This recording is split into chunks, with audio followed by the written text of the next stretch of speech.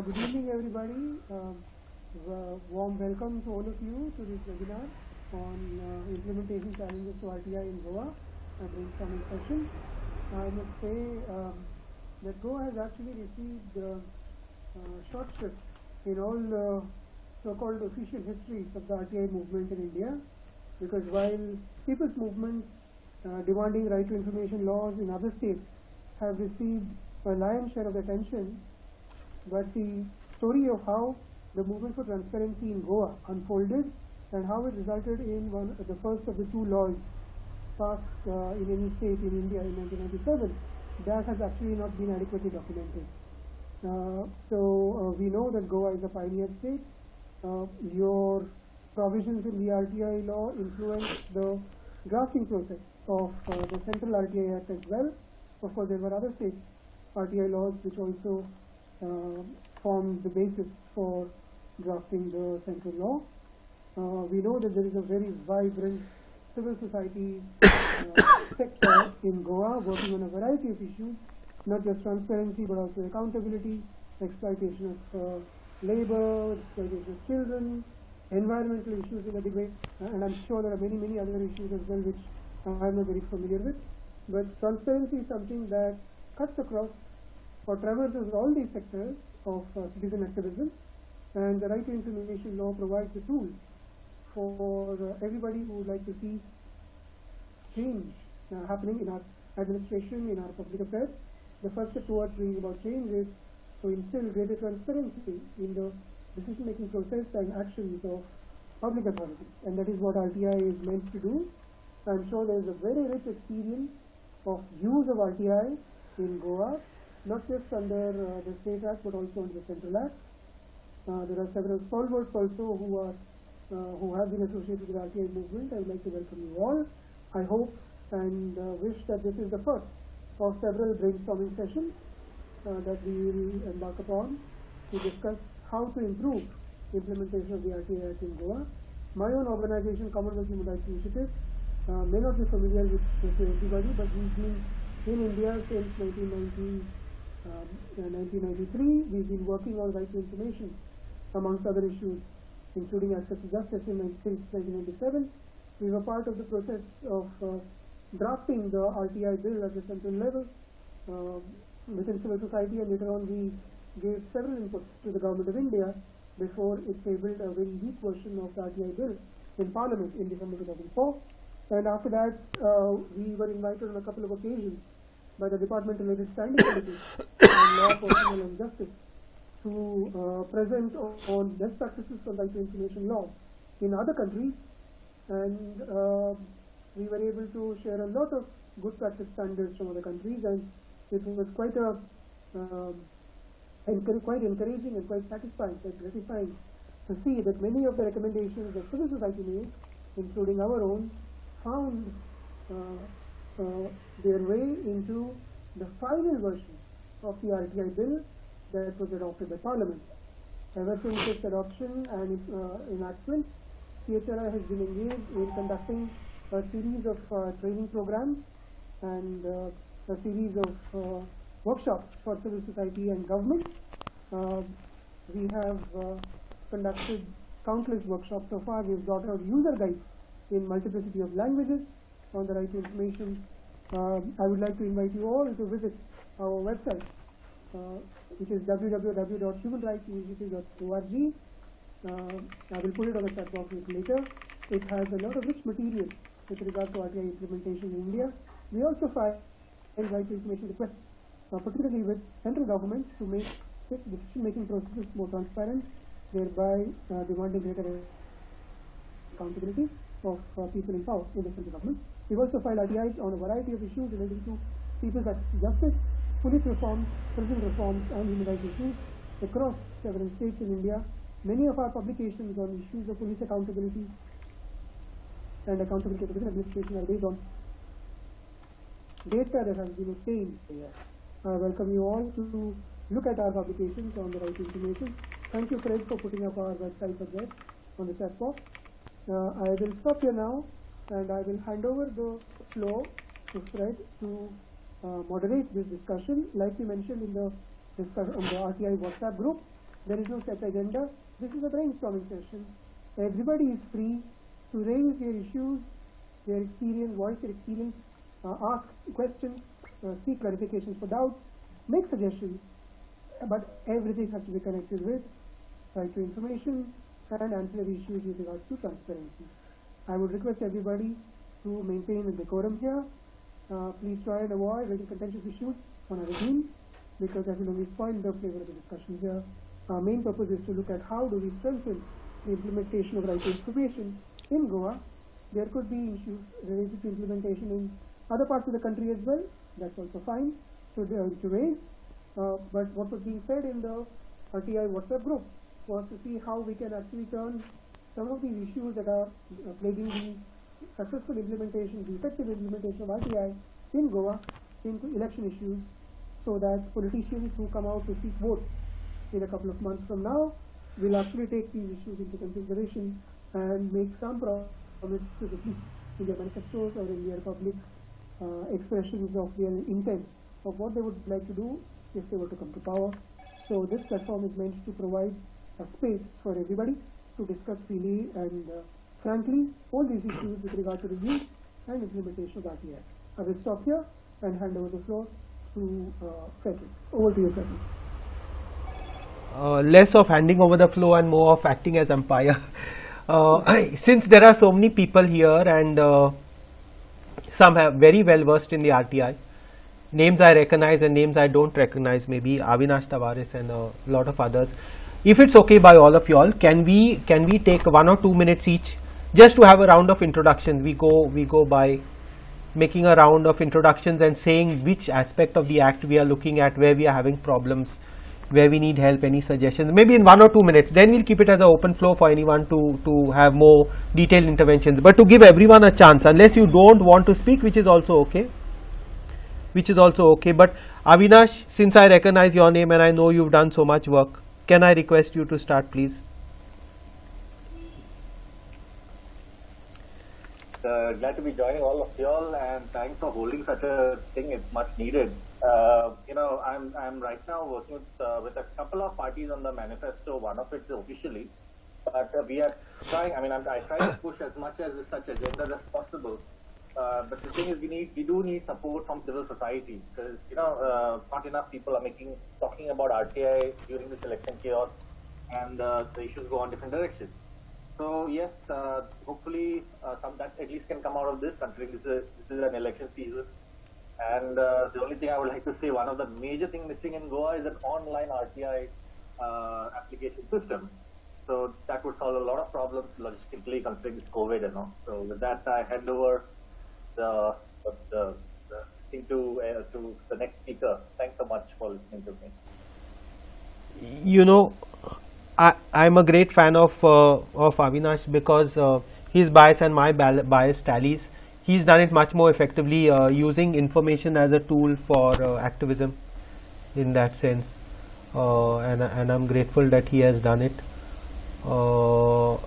He put it very succinctly. Anyone else who's willing to go next? Uh, I, I I'll go. I'll, I'll also. It's my duty also to to introduce myself. Sorry, some glitch with my camera because I've got about hundred tabs open and I don't know which which tab is hogging my camera. So Zoom is not opening my camera here. Uh, my name is Frederick. I've been a journalist for donkey's years. too long, too long for my own good. And uh, I've been fascinated with the RTI Act for a long time since uh, 1997 when the Goa Act came about. I feel very strongly that uh, journalists have not used it enough, you know, and while we are defensive and critical about the act, we've not even tried it in many cases. And sometimes I've got good uh, responses through the act. I've got tons of information. Uh, sometimes I've not got information. Some most of the time I've also been lazy in not following up. Uh, going, I've never been to a single uh, on a single appeal, so that is clearly my failing. As Avinash says, uh, the information that that comes out to me stays with me, so that's not good enough. We need some some way of sharing it uh, so that the wider community is aware. Okay, uh, we need to team up with others. So I was struggling to get information about the collapsing sea harriers because out of 31 bought at about 80 crores each in those days, uh, you know, 16 collapsed, crashed without a single, uh, without taking part in a single operation, and that was the area of concern. So I met this RTI activist from Kerala who pushed and got it, and you know, together we did uh, that story. Uh, but uh, the other thing is that even the small things like post office efficiency, you know, uh, they've been shaving off one hour of their operations every day by closing one hour early. There's some agreement going on between the unions and the uh, management, and they keep it kind of uh, between themselves, and they're quite happy with that arrangement. So that was changed for a little while, and now they've gone back to it. So two issues: consistency among ourselves and sharing of information. Who'll who'll take it next? You're most welcome.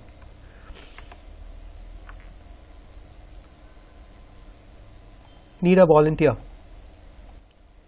Hi, I can I can volunteer. This is Karan here. Hi, sorry, I just joined a bit late. Please, please. Uh, just to say hello. Uh, I I really don't have any agenda. I just thought I'd listen and see what uh, people have to say. Uh, I think I have made uh, my main observations known on the on that uh, WhatsApp group. Uh, basically, I would say that from my experience with RTI, which has not been huge, it must be said. I think I've done three RTIs. Um, my main observations are that obviously the the way that you frame your questions is uh, is very key. Uh, we all know that, but also I think equally key uh, is probably who you get as the PIO and who uh, you know who he reports to and how sensitive does the information that you are asking for seem. So in some ways, it's kind of good a good idea in my experience to try and disguise you know, if that information is going to try, is going to possibly get the very people in that department into some kind of trouble, possibly, is to kind of disguise the questions in a way that that, that isn't apparent. Otherwise, you know, the chances of your you're not you're not getting that information increases. That's my little experience that I've had. And then, you know, once you get into that whole uh, process and so on, I think I mentioned this on the group as well. I think, you know, that whole business of first appeals is really, in, in all the well, certainly two of the three that I did, uh, turned out to be a complete waste of time because they belong to the same department. Uh, they try to protect their own. Uh, they, it reflects badly on them that the PIO has not given, you know, the information that, that he should have given. So they too try to find some technical way of kind of avoiding giving you the full information. And even in the cases where they do order that the information be given to you, when the PIO doesn't give it, uh, because there's kind of almost no real penalty on them, uh, then you're forced to waste even more time by going to the second appeal. Uh, and, you know, I, I, haven't actually taken it that far, uh, so I don't really know about what the experiences would be there. But, but if, if the whole first appeal could be done away with, because, you know, in my experience, it's a bit of a waste of time when they belong to the same department, uh, that would probably be a good thing. I do think that the online uh, application process would be very good uh, because it would uh, make things much easier. You don't have to go traipsing around the place. Uh, there's also a physical, uh, a digital record of it. I guess it becomes more difficult for them to kind of just avoid your, your, uh, you know, coming back to you. I mean, there is one RTI that I have applied for. I have not got the answers. I've got a first appeal verdict in my favor. Uh, and uh, you know months have passed and I still haven't got the answer uh, because this PIO really you know knows that there's no no real penalty that he's gonna have to pay. what else? Um, yeah, I think you know sharing would be great because I think we all probably pick up some information that is that is very worthwhile for the general public to know. Some of it might be very specialized, some of it is probably for a lot of people. If there could be a repository somewhere and it could be easy to access in some way without you having to kind of troll through a very complicated spreadsheet or, you know, you know, very technical difficulty, that would be really handy. Uh, and I think we all know that Section 4 is virtually completely ignored. Even the village panchayats that have got websites, they never update their websites. They don't even give information which is so easy to put on the website, like when is the next Gram Panchayat? And when you go and visit the, the secretary, he says, oh, you know, we put it up in the churches. you know, does everyone go to church? Uh, yeah. The, the, the, intention is that everyone should not know that there is a Gram Panchayat, you know. So that, that is very much the feeling that, that one gets. What, what does it take, if you've got a website, what does it take to put it onto the website, next Gram Panchayat in two weeks' time, such and such uh, location and such and such uh, time. But, but, you know, there again, I don't know what the solution is. I think one just needs to kind of for tougher implementation of section in some way. Anyway, that's me done. Thank you very much. Karan, very, very interesting points and a lot of interesting points, I should say. Uh, yeah, uh, including the thing of people being from the same department, therefore covering up for each other. Uh, the thing of panchayats not sharing information. Partly it's it's because of uh, I mean no one wants an open society really because openness is threatening to all of us, in a sense.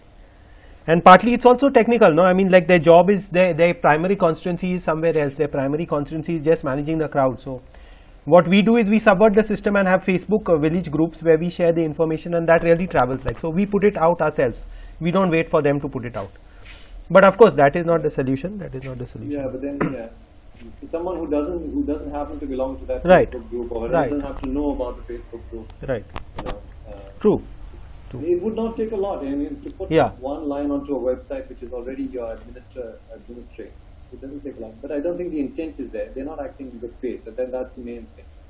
yeah Uh, Malan was actually having some problem with his uh, with his mic which is which is sad because uh, he has this idea about creating this uh, database of you know RTI decisions and and things like that which could be shared. Okay he's saying it's his hardware he has a hardware problem. Malan has a hardware problem. So in the meanwhile uh, would someone like to go next? Just two minutes talking talking in the preliminary round just talking about how you see the act uh, what are your priorities what what are your problem areas that you see how we could collaborate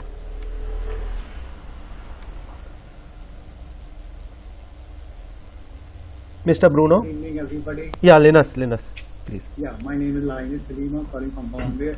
And initially, I had a problem.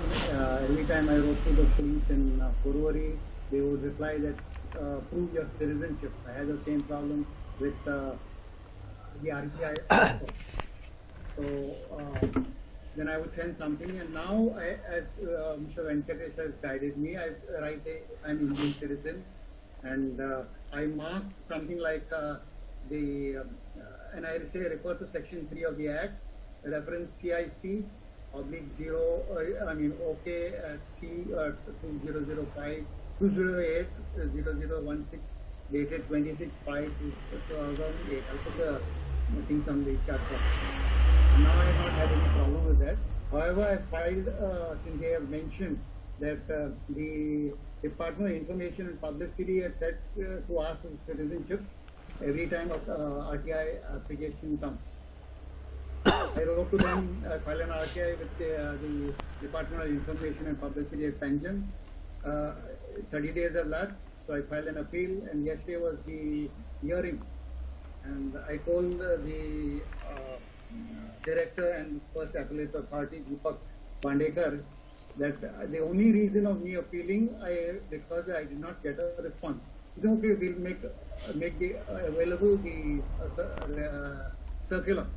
I followed the PIO separately. And I told him, he no, I'm still looking for it. I said, how can you ask your people in the affairs department to, you know, refer to it and you can't, can't produce the circular, no? So anyway, he promised me it's a week or so, he gave it to me. Yeah. Uh, that's it. Thank you. This is the circular Linus uh, about nationality thing no Yes, Indian citizenship, that's all. so actually any excuse is good enough to delay or not give the information that is Obviously, it is a delay tactic, and uh, my experience with uh, Deputy SP at Porvorim is uh, Edwin Colaco writes it first time. Such a time when I apply for another uh, this, uh, somebody else replies. So every time when you uh, Deputy SP should reply. Okay, because Edwin knows that I am, I am an Indian citizen. because I proved my citizenship. Huh? Followed. right right right Okay, the other experience has been good, um, or rather very good. I could share it later when, you know. Uh, is that okay with Venkat, or you wanted to do it right now? The good, ex- good experiences. we'll keep for later we'll No, keep for fine. we'll keep Yeah, yeah, we for another round so that more more uh, voices come in no Fred, may I just raise a question? That's why I have my please please please Uh, how do we do it? You know, there are several issues which uh, are very experienced RTI users and participants are raising. So should we pick them up to respond to them during the second round? Is that how you would prefer it? Uh, see if we can if we can just uh, put it out in the chat box you know some of them will require, you know, one or two minutes of explanation. Okay, so so much will be- so they can raise their hand. take it in the They can they can raise, but they can raise their hand because uh, if it's more urgent, I think like uh, you know, let's go with it. Nothing urgent, it can wait, yeah, because I wanted to respond to a few of the issues that were raised, but I'll wait for the second round. People are feeling shy to to speak up. So Venkat, Venkat, if you if you uh, answer some questions now, it might also, you know, set the ball rolling. Uh, Bruno, Bruno, go go ahead, go ahead, Bruno. Thank you, it might stimulate the Yeah, discussion. Bruno Gomez. Uh, Okay, Bruno okay, Gomez. please. I'm based. I'm NRI. I'm based in Switzerland. I'm a consular in Switzerland, and I had an issue in Goa because I'm still uh, uh, connected to Goa. Um, got and brought up in Goa, studied in Goa, and uh, immigrated to Switzerland. I'm based in Switzerland. The only thing is what I want to do, just to bring to your notice, is that uh, I had an issue with the Panchayat, and due to some issue, um, one of my case went to right to uh, 10 years because of the compound wall. And uh, unfortunately, the Panchayat, without informing us, uh, they got an order, I don't know from where, and uh, they broke my wall.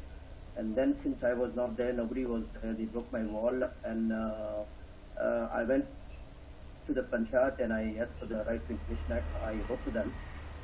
And um, then the secretary said he will give me the information in uh, 30 days as for the act. As I read the act, uh, I know a little bit of it. And then finally, when I went to him asking 30 days I left, uh, what, what you doing? And he said, no, no, no, I cannot give it to you. And it was my time to come back to Switzerland. And then afterwards it was followed up and uh, what the, uh, I took my advocate and I told him advocate please look after it. And the guy, uh, the advocate went to the, uh, to the, to the panchayat. They said they cannot give it to me because I'm not a citizen. Okay, one point. Second point, I asked my sister to write to, to get the information to the uh, Indian citizen and she wrote to it. And since I had drafted the letter from here and I told her to sign and she signed it and then they saw that there was my address was there and they said this is not the right address, so they cannot give the information.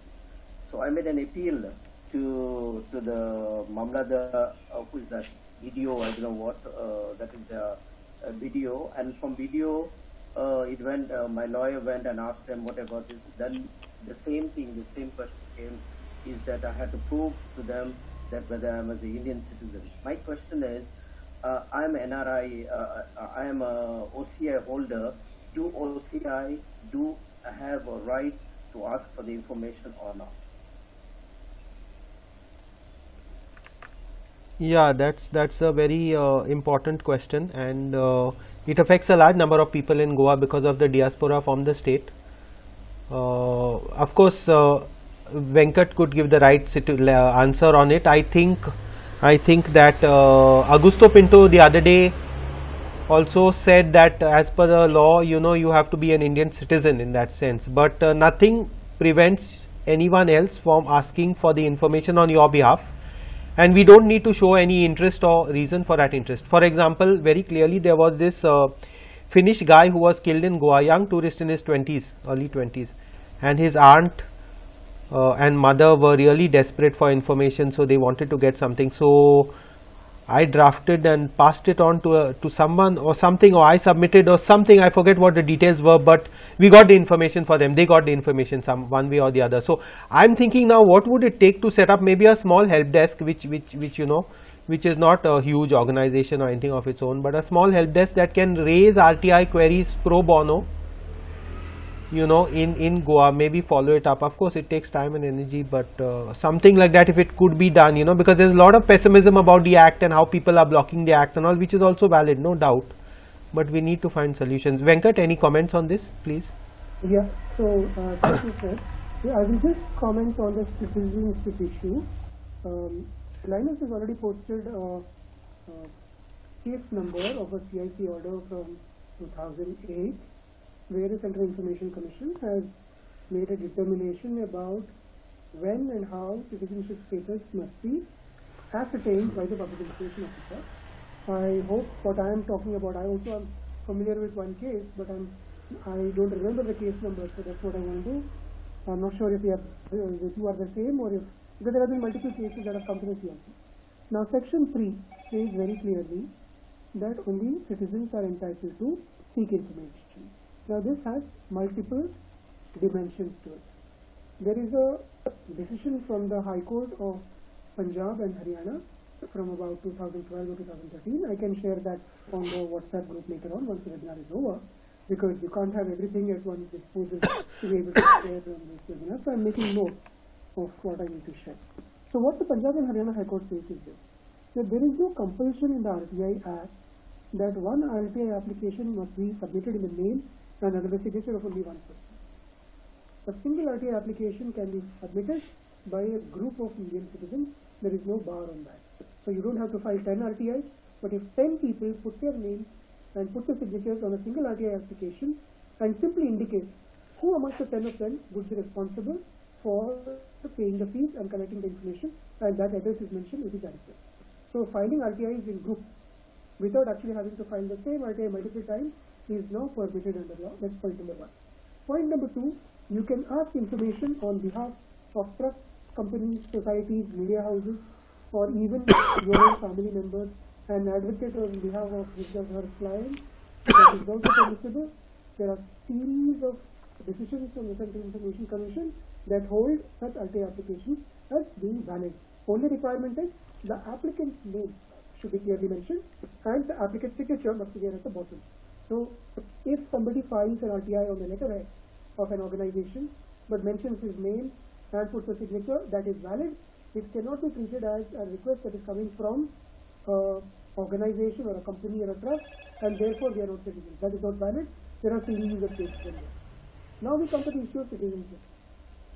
In the case of the National Human Rights Commission, where the public information officer demanded to see the citizenship status of the applicant and therefore that became the basis for not processing the application uh, further and it was even rejected I think. Central Information Commission laid down a very important uh, principle that for the public information officer to doubt the citizenship status of an applicant, there must be some material basis in front of him or her to doubt the citizenship. If that is not there, then simply on the basis of uh, the person's name or uh, just of him, the public information officer cannot demand proof of citizenship. Now this is applicable across central government. Many of the states also continue to apply this. However, there are some states like Sikkim or there might be institutions, uh, some specific institutions in some of the other states where they demand proof like Odisha for example. They don't demand citizenship proof, they demand identity proof, it is written in their name. Thankfully Goa has none of that. But Goa there will be one serious problem. And I'm sure that this is particularly raised against people who have what looks like non-Hindu sounding names. And that is an extremely unfortunate practice. That cannot be the basis for discriminating anybody from seeking information simply because somebody is, you know, got a name like, you know, Frederick Noronha or Gomez, uh, you know, Bruno. That is not the basis. There must be some material for doubting the citizenship status, something concrete that the PIO must know outside of the RTI application. Only then can they insist on citizenship proof production. If they don't, uh, you know, respond to your RTI and you are a bona fide citizen of the country, then you can challenge this to appeal or even to a direct complaint to the uh, State Information Commission, irrespective of what the Supreme Court said in the Manipur uh, you know, case. We will talk about that later. Now, as far as OCIP, then this is my last point. OCI, to my understanding, I did some research on this long back. Um, I'm not too sure if OCI is something that continues because I remember reading uh, government documents which say that OCI is no longer a valid category, but if they continue to use it. OCI, the understanding is that they are people who are of Indian origin, but they are not uh, uh, Indian citizens per se because they have either given up or their citizenship, citizenship status is now linked with some other country. India does not allow multi-dual citizenship to the best of my knowledge, but at the same time, Goa has a peculiar situation which I am not very familiar with, so I will not comment on that. But generally speaking, if you are an Indian citizen based in India, irrespective of what your name is, if you are an Indian citizen who is based outside the territory of India, you can still file RTIs in your name. The only difficulty will be for central government because there are RTI online, there is an RTI online portal.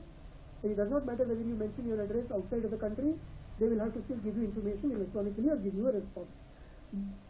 But if you are filing any of the state governments where your address is based abroad and uh, you want information from India, it does create a bit of a problem. So then the best thing to do, rather than get defeated by these technical and idiotic, you know, uh, uh, actions of PIOs to frustrate you from seeking information, just ask somebody who's got an address in India whom you trust to make that RTI application for you. Like I said, you can ask information on anybody's behalf. You don't even need to submit an authorization letter. So therefore, please use these tactics to overcome these uh, strategies put in place by public information officers to frustrate you from seeking information. So that is what I wanted to say on this particular topic. I'll stop here. Venkat, if if I could just add on this issue of RTI of of OCI, no. See, it's a it seems to be an important issue which will come up again and again. So we maybe need to take a short term and a long term perspective. The short term being that uh, you ask someone locally to do it. We work out some system that you know if we have some solidarity or some network or something that could be done. But the long term strategy is this. I am not a lawyer. I don't understand this well enough. But our, uh, OCI has always been defined in terms of what you cannot do okay in the past of course there is that debate about whether OCI continues or not. All those things are there. But in the past what we were told about OCI is that you cannot stand for elections. You are as good as an Indian citizen. You cannot stand for elections. You cannot you cannot hold agricultural land. Okay? So if it is defined by what you cannot do rather than what you can do where does RTI stand as far as OCI goes? That may need may call for some clarification. Anyway that's a long term issue but if someone else wants to hop in here and introduce themselves I see Rui Ferreira also here. Thank you for coming and Anjali is there. And Ernest and a few others. Please we are giving two minutes time just to have initial statements then we'll go in for wider discussions. Just tell us uh, if you can what are the issues you're facing where you think there is hope where you think uh, people are blocking the act and what we could do as a group please. Anyone? Raise your hand and just go for it Uh, while we're waiting, this is Karan again. Uh, Yes. Could I just ask Venkat a couple of clarificatory questions on this uh, OCI uh, and citizenship issue? Uh, number one is just a point I'd like to make, uh, which I think, uh, Frederick, you, you alluded to. Uh, OCI actually stands for Overseas Citizen of India. Now, if it stands for Overseas Citizen of India, and any citizen of India is allowed to, uh, to apply, then, you know, I guess it is questionable whether, you know, you should be given that information, I would have thought. But that, that's just a, you know, side, side issue. The other thing I wanted to ask was, uh, you said that um, under the law, uh, it appears as though they're not entitled, PIOs are not entitled to ask you to prove your citizenship unless there's a kind of, I think you mentioned a material basis for doubt. Uh, could you give some, you, you did say what, you know, the name should not be a material basis for doubt, but could you give some examples of what would prove to be a material basis for doubt? That would be very helpful. And then the other thing that I just wanted to ask is, is this business of having citizenship as a criteria not actually bad in law, considering that there, that there isn't, that, that there must be literally tens, if not hundreds of millions of people in India have any document which would prove citizenship. I mean, the only two documents that I can think of that would prove citizenship would be number one, a passport. And I know that there literally are hundreds of millions of Indians who don't have a passport. And then number two would be a voter ID card. Uh, and that too, uh, there must be literally tens of millions of people. Certainly, anyone below the age of 18 who is a citizen of India would not have a voter ID card. So then, how would you prove citizenship when, when there is no such documentation that can be used for proving citizenship? Right, may I respond? yeah yeah please please please please go ahead Okay, so there's very va- valid points that you raised. Uh, uh, let me start with the last point. In fact, uh, since I was closely involved in the advocacy process when the bill was drafted and was being considered in Parliament, we actually made a very detailed submission on this issue. Two things we said. Said, look, how does it matter whether you restrict access rights to citizens? Because if anybody including a citizen of India, asks for information that is legitimately exempt under Section 8, 9 or 24 of the RTI Act, even citizens won't get it. Why? Foreigners won't get it, obviously. And if there is information that a citizen can get, what is the harm in allowing access to that information so long as it is not some third party information? Why can it be allowed to a non-citizen also? And then the last point that we argued was that look, when you put up section 4 disclosure on your website or you print it in the form of manual, where is your guarantee to ensure that it will be accessed only by citizens of India? Anybody can access it. Somebody can sit in the corner of Timbuktu, open our Government of India website and access all the information that is uploaded there which is not password protected or which does, does not require a login ID. So we made all these up. But then Parliament particularly the committee, the standing committee, because I'm privy to some of the discussions, that's why I'm explaining to you what was their logic. The logic that they made was that the very first judgment on the right to know, which is State of Uttar Pradesh versus Raj Narain, and then S.P. Gupta versus uh, President of India, and a series of other ex, uh, uh, which the Supreme Court pronounced recognizing the right to know, they were all deemed to be fundamental rights within the meaning and scope of Article 19.1a that guarantees the right to freedom of speech and expression. And therefore, the bureaucracy stand before the parliamentary committee was that Article 19 rights are available only to citizens, and therefore this must be restricted only to citizens. We argued in counter to that, and we said that look, the right to know is not just linked with Article 19 There are at least two very important Supreme Court judgments where the right to know is connected with Article 21 which is the right to life and liberty. And the right to life and liberty is guaranteed by the Constitution to any person who comes within the jurisdiction of India, territorially or administratively. And therefore, there is no reason why RTI should be limited only to citizens. But at that point of time, the parliamentary committee, even though it was dominated by the UPA people at that point of time, they did not want to go the extreme step like many European countries or American or America or uh, several other Latin American countries do by opening up rights of access to citizens or uh, to non-citizens.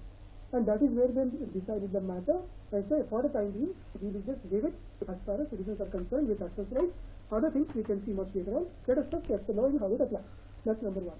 Now when I look at the definition of OCI, as given on the Bureau of Immigration website of the Government of India, there are several categories where the person who is an OCI, recognized as an OCI, is actually not a citizen of India.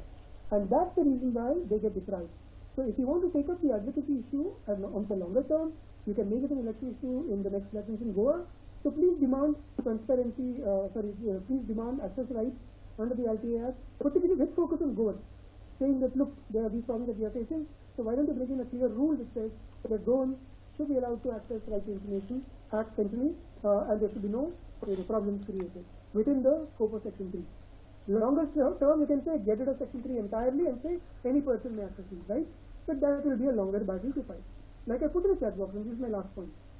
If you want clarity on whether an OCI category person can or cannot access information, the right thing to do would be, and I'm sure somebody might have already thought of this, but there's no harm in repeating it, you can file an RTI application in the Department of Personnel and Training in the Government of India to get their understanding of whether OCI is covered by the RTI Act or not. And I can help doing uh, uh, to do that draft uh, after this webinar is over, maybe over a couple of days. That's all I want to add. Um, I, I, think I have responded to most of the issues that the previous speaker has raised. I'll stop. Very interesting, very interesting and very detailed uh, reply, Venkat, as always.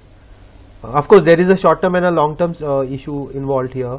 As you are saying, the long-term issue also needs to be tackled. The short-term issue we will anyone else wanting to introduce or if, if we are not forcing anyone to speak here if you are not comfortable in speaking or you want to speak later that's certainly fine if, if, if no one else wants their two minutes then we go in for Q&A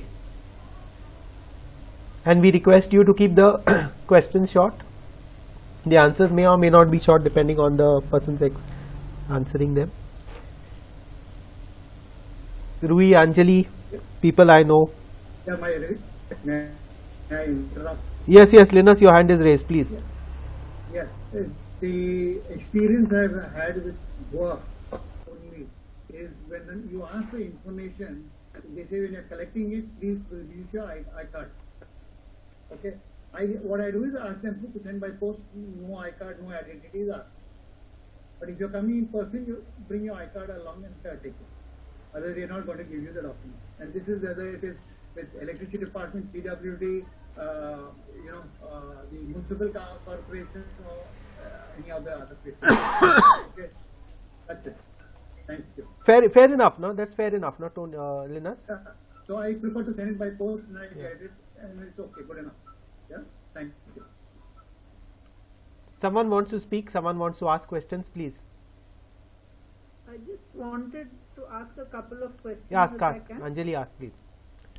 Yeah, uh, the reason I asked about ID even by post is that if the ID is there, then the citizenship is, is clear on, on that, whether it's voter's ID or whatever.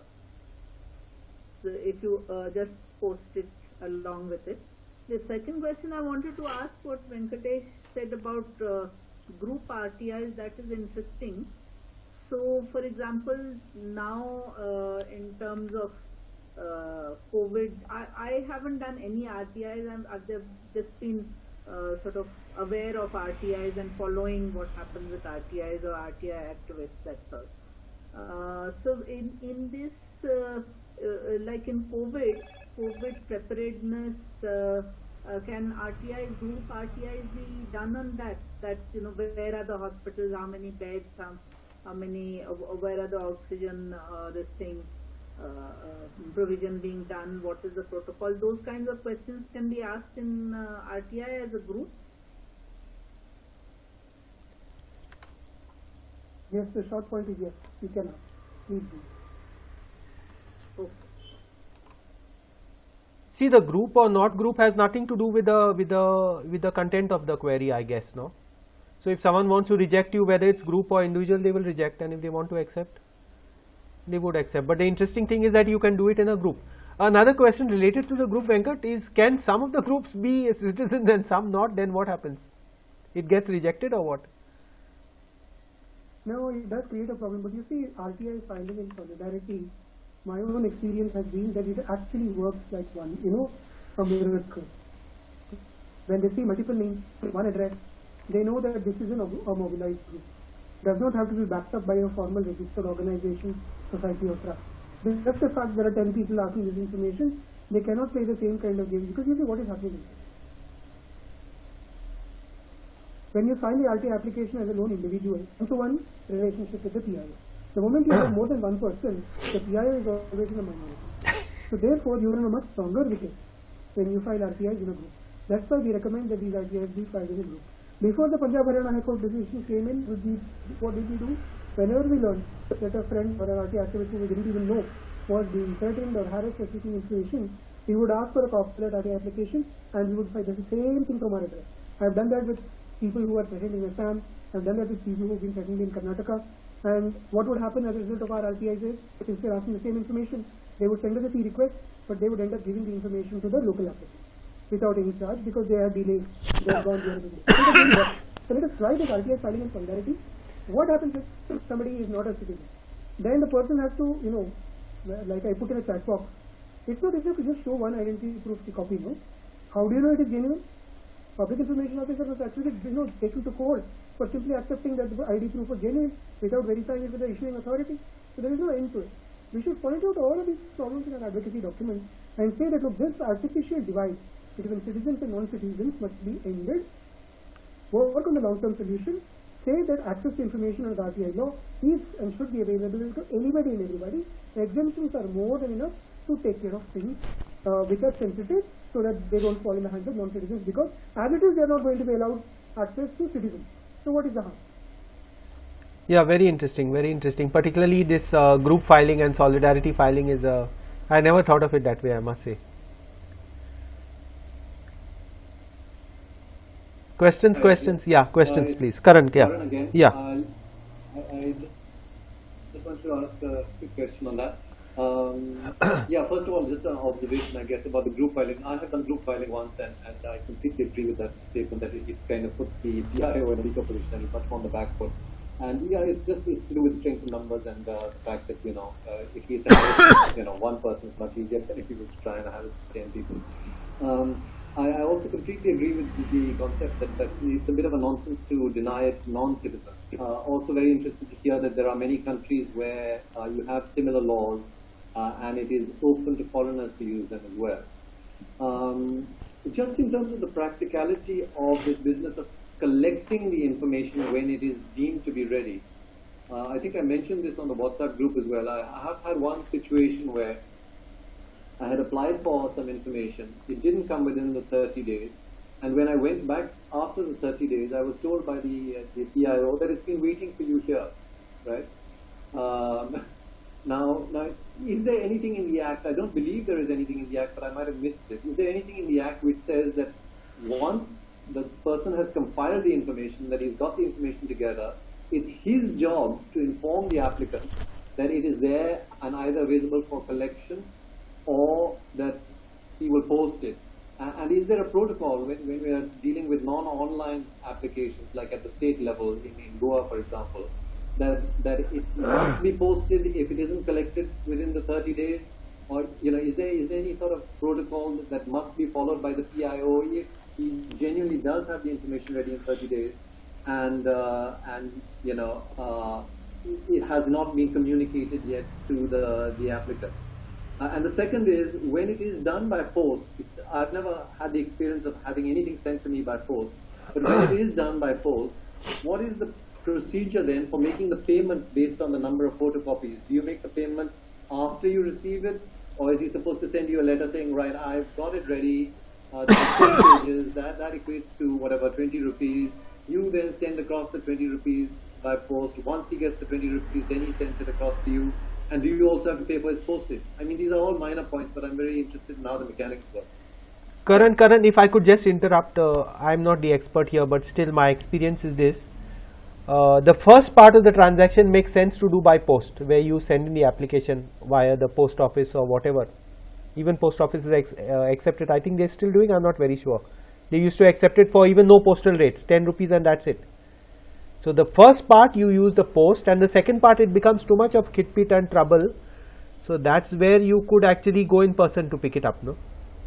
Anyway, So Venkat. you have to keep going every five days, every 10 days, or at the end of 30 days, or what? they are supposed to inform you in uh, you know you're you're giving one side of the story the other side of the story is mine i went after 3 or 4 months you know to pick up some information and they were good enough to give it to me and they were flustered saying that after how long have you come? And they had actually told me come and pick it up but i just didn't have the time. After how long are you coming? And they realized and i realized that there was nothing in the law that said that you have to keep it for you have to pick it up within a certain number of days or something. Maybe venkat could clarify on this situation. Yeah, let me explain this. Uh, what I would like to request everybody here, since uh, uh, you know you are all uh, you have experience of using the right information, uh, and uh, you know you sought information or you have obtained it. I would urge you to do two things. One is please always keep on your mobile phone or on your laptop a copy of the RTI Act and your applicable central RTI rules and the Goan RTI rules ready for you know quick reference. It really helps to keep reading these uh, laws and rules frequently. I've also posted uh, the link to our RTI user guide in English so that you can download it for free and make use of it. The step-by-step process of seeking information including filing appeals and complaints are explained in this user guide. It's a 2018 version. It does not have the 2019 amendments made to the Act and the rules because they came much later. But if you want the amendments that have been made, I can share them also. Now to respond to your query. You see, what is the scheme of the RTA Act? You file an RTA application under section 6.1. Then the public information officer has to make a determination of the first thing that he has to determine is this whether he or she holds the information in their office or whether that information that you are asking is completely connected to the working of that office or it is more closely connected to the working of some other office. If the latter is the case, more closely connected to the working of some other office, even though you, that office may have it, or if they don't have it at all, but some other office has it, they have to transfer that RTA application within days. So that is the first determination that you have to make. The second determination, once the PIO uh, you know, uh, realizes that yes, A, information is available in that office, and B, it re- relates too closely to the working of that office. Then they have to take a call on whether to disclose the information or not. Under section 7.1, the time limit for making this second stage decision is 30 days. Ordinarily, in urgent matters relating to people's life and liberty, it is just 48 hours. We're not getting to that right now. So once the person makes a determination that this information sought fees with us, but it comes under any of the exemptions. Within the 30 day period, that person has send you rejection letter, free of cost. They can't charge you for that.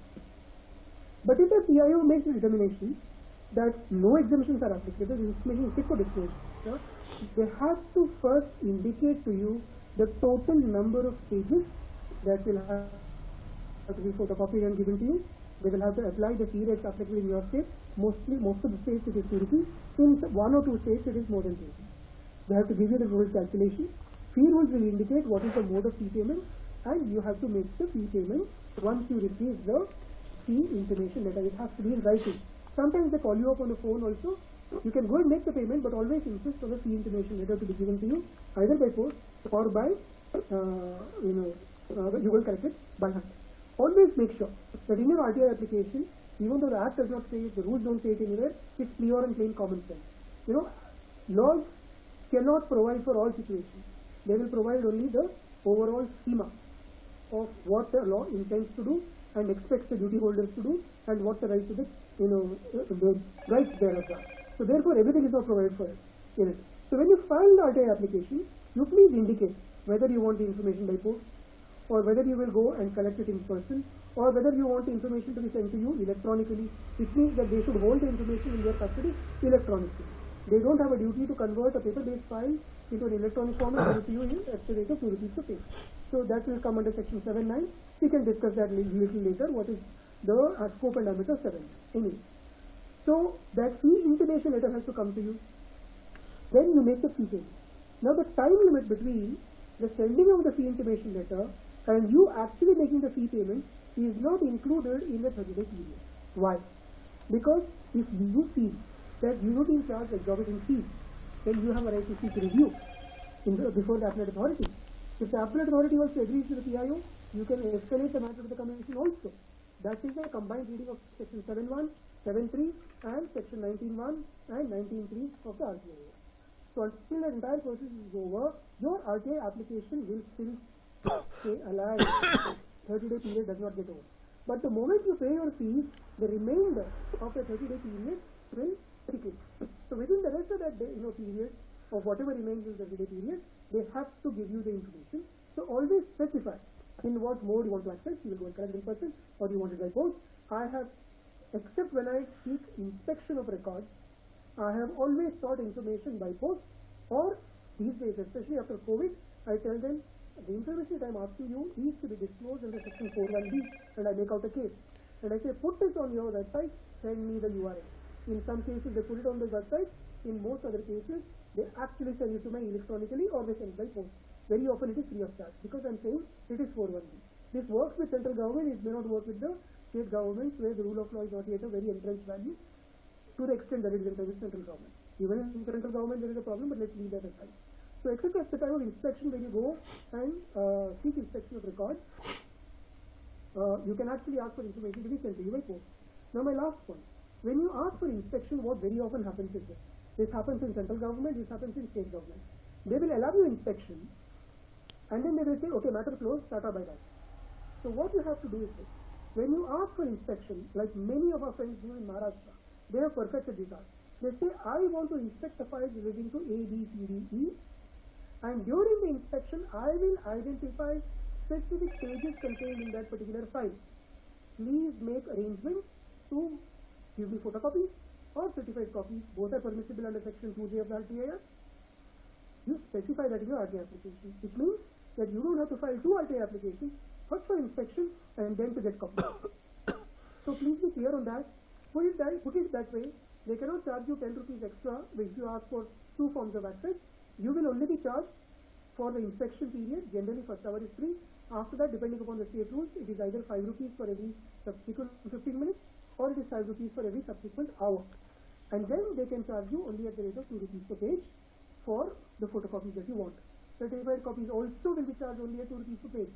There is a DOPT circular which says very clearly that the certified copy right to, of access given in the Act is of a different category as compared to the Indian Evidence Act and I think section 74 it says certified copy or 72. I can't remember, I'm not a lawyer. Somewhere in 72, 74.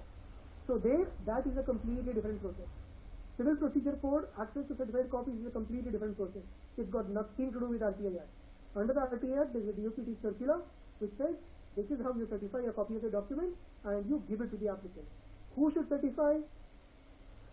Documents of manageable size. Who should certify? Copies of documents of large size is also mentioned in the DOPT I can share that with you later on. Uh, you know, by email, I could probably send it to Fred and then he can share it with everybody. So please be informed of the multiple guidelines, the, the what is required in the law itself to uh, you know to be very clear, and then file your RTA. Don't start looking at the RTA after the the, uh, the dash has hit the fan, or if you know if you are facing challenges or you've come up with obstruction. First, equip yourself because you're all people who know uh, the RTI Act uh, exists in writing. You can read it, you can you know understand it much better than a person who is unlettered. So equip yourself first with the knowledge and then go ahead and file your RTI. This is what I want to say. Very interesting, very Very interesting. Yeah. Sorry, sorry. Carry on. I was just going to say thank you very much. Very interesting inputs because uh, you know these small procedural things make a big difference. Whether you go once for inspection and then for uh, another round for getting the copies, it's not so much the money, the 10 rupees, but a waste of time and even uh, you know the more time you take, the greater chance of uh, the process getting interrupted. Rui and company some substantial issues because uh, while procedure is also important, we need to be looking at uh, you know wider issues that can make a real difference. Any anyone had major problems or any points where you particularly get stuck? I find that the panchayats in Goa take it quite lackadaisically. You know, they're just not bothered. You ask them for copies of minutes of the meetings, they'll send you something. They may not respond in the first place. If they respond, it will be badly handwritten. You can hardly read what they're saying, and you know, so they are subverting the law in spirit, if if not in letter. Uh, can I, can Please, I please, something? Avinash, please. Yeah. So uh, in my experience, there has been uh, you know the different kind of uh, response letters that I get. Uh, one type would be if I ask questions, uh, what we expect is uh, a point by point reply, as well as in the reply how much money you would have to pay, and then the total amount written below. Sometimes they just say this is the amount, please come and pay and take the uh, documents. You don't know how many pages you're getting, you don't know what you're getting in fact. And sometimes they say a reply is ready, please come and uh, this thing. They don't mention the amount. So it depends a lot on the PIO uh, or the APIO that is uh, going to give you the information. Now the worst case scenario when you ask point by point uh, question, when they say uh, please come and uh, inspect the files, you are not asked for inspection, but they just don't want to give you a point by suppose like in the panchayat you ask for a sanad copy of a construction, a construction plan, a construction this. They say your file is ready, kindly come and inspect and collect the document. It's literally just in one line they say it. So, uh, so a lot depends on that, and uh, I guess that's something about experience and how you go about it. Whether you, by filing the RTI, make it very clear with the what you want, uh, or you just have to, you know, uh, wait till the reply, and when once you go there, you'll figure out uh, what kind of reply they're giving you. Uh, the other issue which I face with the collector, uh, collector building is that they have they are using that you know uh, different rates of 50 rupees for a document, even though they're not issuing you a, a fresh order, but they are they are charging you uh, you know the prices uh, which are in the prescribed rates, even though they are just ordinary correspondence of notices and all that stuff. So by the time you fight it, it kind of tires you out, especially when you're in a hurry for that information. So uh, this is like I got a, I got a reply saying that they come and pay 350 rupees, and when I went there, just like seven pages, and it was just some uh, notices sent to the complainant and all that uh, kind of documentation. So that's that's uh, how they kind of play those games. But uh, uh, one of the things which uh, helps is uh, a good relation with their postman because uh, you know the day they send the reply exactly on the 20, 28th day. They post on the 28th day, which reaches you on the 30th day. So uh, many post offices don't hit the stamp very clearly, and uh, if they do, uh, then you get to uh, you know, if, if they cross 30 days, if, so if you receive, if the stamp is on the 31st day, then it's easy to claim, um, you know, free of cost uh, RTI, uh, rather the exam. so these are like the small things that kind of, uh, uh, once you are in well, you, that make a difference when it comes to uh, filing RTIs. But yeah, make it very clear with the PIO in the beginning itself what you are expecting and ask them to send you the cover letter with the costing of the individual documents. That's something I do rather than just file the RTI and come out. I say this, this is what I want, and uh, yeah, uh, please uh, send me the point by point reply when you say because that that doesn't cost. That is just the, the post that they give. Yeah. Th- that's that's about the funniest thing I've heard today. That a good relationship with with your postman really helps, and uh, it comes from a lot of experience because uh, you know understanding these small nitty gritties and even getting your stamp, uh, postal stamp correct, uh, can make a big difference in getting the information free, or what Yeah, Avinash mentioned about about asking What asking properly. Is, uh, Yeah. what, ha- what happens is if you if you write a uh, you know uh, a letter to say the PWD, the central office or the power department, the central office, they send uh, letters to every division and subdivision. So the postman is the guy who has to come on your door every second day you know, and deliver one one notice to you, saying that okay, this letter is coming from Ponda, from Panjim, from all the other places. So yeah, you need to have a good relation with the postman. Otherwise, uh, That's correct. That's correct. That's correct. Uh, you know, since you raised this point about uh, the government departments making us chase information across the state, once I got this reply, uh, it was just trying to collate information about uh, RTIs asked under the Goa Act within Goa itself.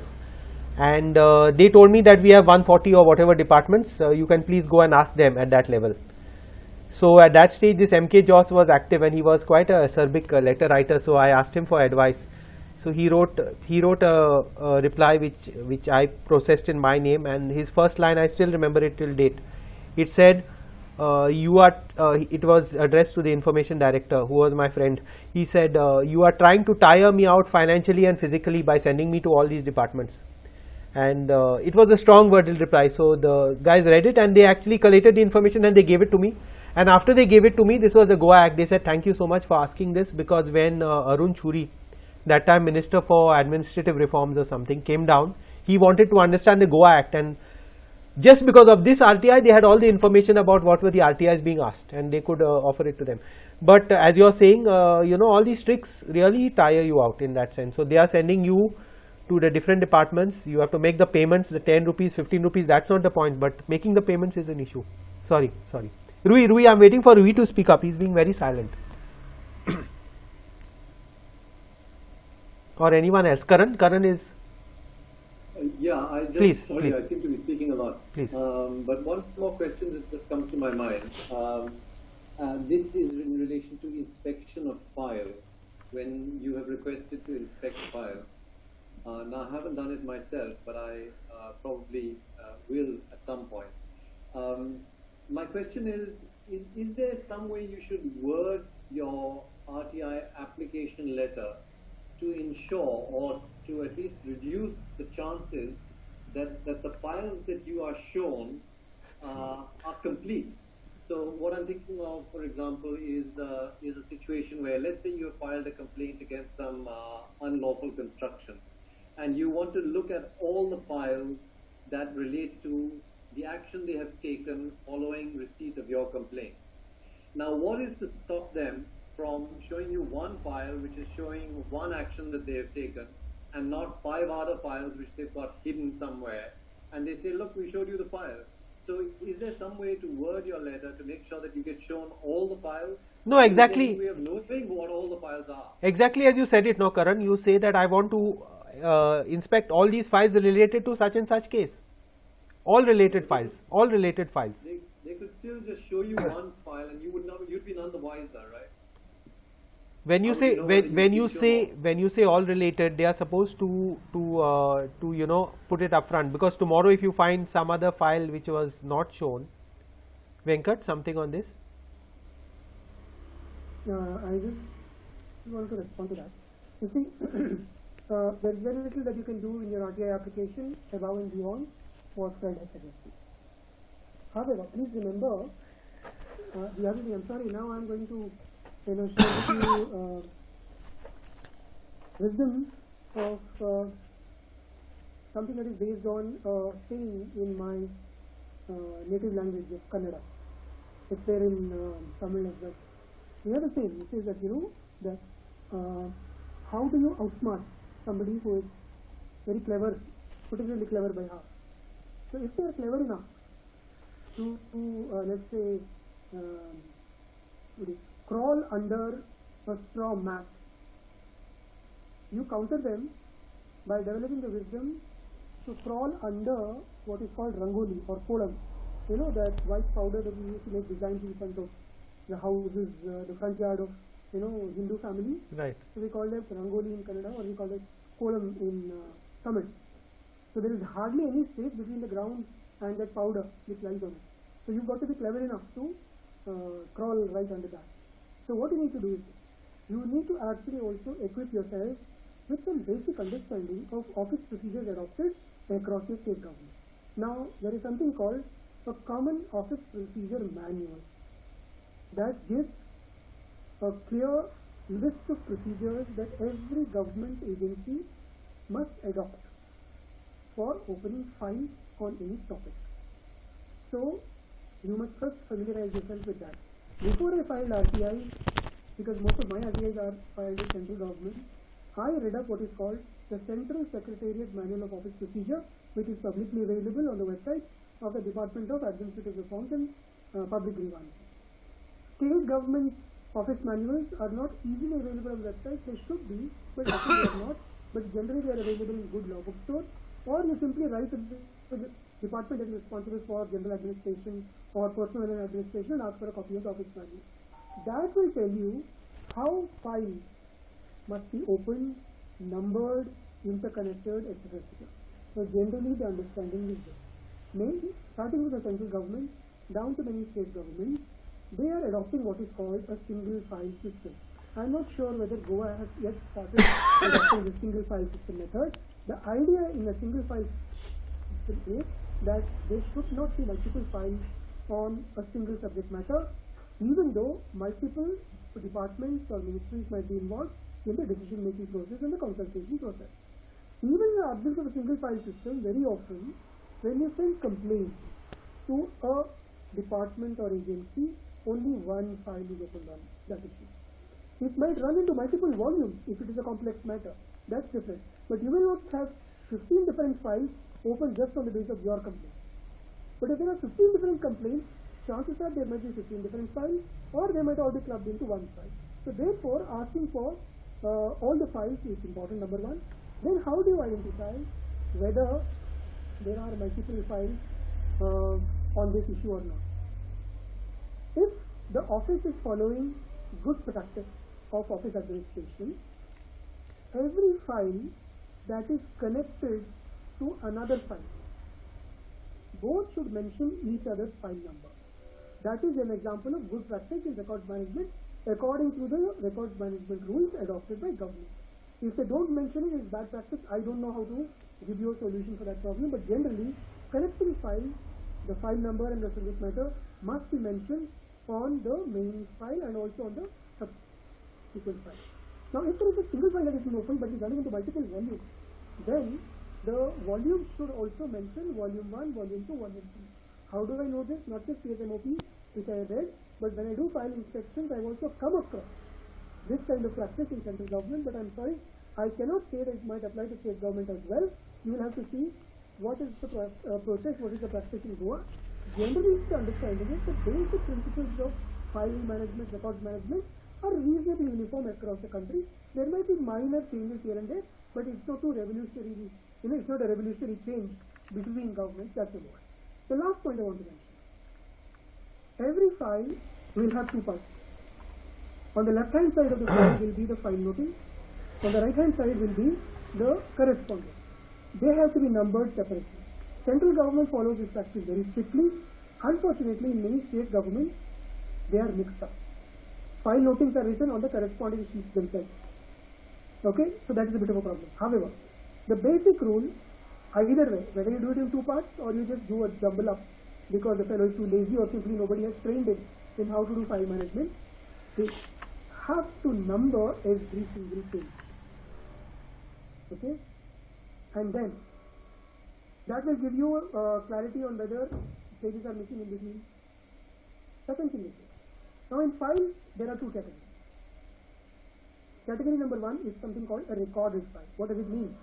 It means that the file that has been opened on that subject matter has served its purpose, decision has been taken, it's been implemented, the government agency no longer has any use for that file, so what they do is they record it, it means they stitch it up and send it to the record view. That is a recorded file. The second category of files is something called a live file, which means the decision making process or the implementation of that decision is still continuing and that file will still be available on somebody's desk in that particular government office. It's not the recorded record room. And ideally speaking, under section 41A of the Act, all these details about recorded files, about live files, they must be publicly proactively disclosed by the public authority concerned. It is 41A, read with two provisions in 41B. I can't remember the exact uh, subclause number now, but one says uh, directory of all the files that they hold in their custody in paper form, and then details of all the files that they hold in electronic form in their custody. All this information must be made publicly available. Why? So that there is certainty about the kinds of files and the kinds of subject matter on which files are opened and held by every uh, record creating agency. Unfortunately, this practice, even commissions ignore, they keep making recommendations that nobody takes it seriously, as a result of which you have problems like missing files, disappeared files, files that went missing in floods, even though the entire city was under, or the entire region was under a drought for the last 10 years, or files destroyed in fire, even though nobody even you know, lit a cigarette in that building for the last 10 years, all kinds of excuses are given. There is a very strongly developed case law in Delhi and in uh, Maharashtra, the Delhi High Court and Bombay High Court, about what people's rights are. Requesters' rights are when a government agency claims that the file has gone missing. So we can take that topic up if somebody is interested later on. Otherwise, I'll be speaking for too long. I'll stop. Thank you. Very, very, very helpful. Yeah, very informative, very informative, and there's a lot of science to it. Uh, we only understand it when we encounter it.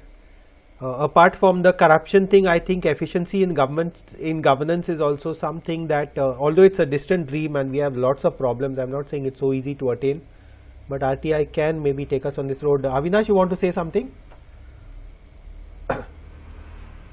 there is time for everyone, please. The faster you step in, the better, because towards the end we'll be running short of time. So now there is time. You want to raise some some pressing issues, please feel free to problem areas whatever plans for a for a centralized database i think that is critical no having having the information out there is going to be critical because if we uh, know what others are filing for for what information they are getting it could spur off it could trigger off many more effective rtis because as of now you know we are going by hearsay we need to see we need to we, we need to be doubting thomases and see the proof there